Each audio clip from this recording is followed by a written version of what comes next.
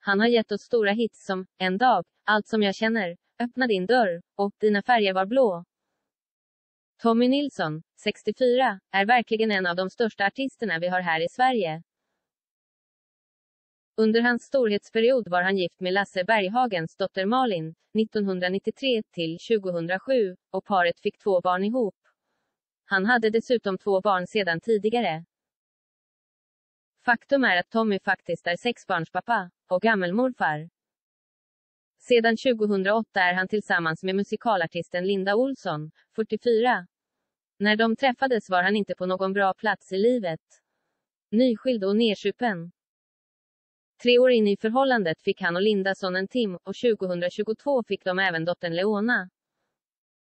Nu har Tommy och Linda en ny anledning att fira deras kärlek. Det är nämligen så att yngsta barnet, dottern Leona, fyllde två år under måndagen. Då skrev Linda så här på Instagram, i ett hav av ballonger. Leona två år idag. Gratulationerna vällde in på den sociala plattformen efteråt.